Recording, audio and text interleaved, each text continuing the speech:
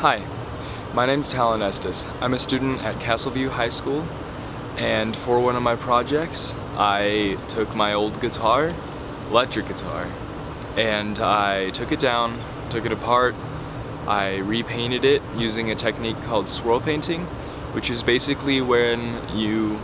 take a big trash can full of water and you take some oil-based enamels, in this case I actually used spray paint, and you put it on the surface of the water, take like a pencil or a stick, whatever you have around you, and you take it and swirl around the paint so it's more random and crazy swirled, and you take the object you're gonna dip, like I took my guitar, and you dip it in the water. Um, so through this video, you will see me paint it, then stain the neck and put it back together.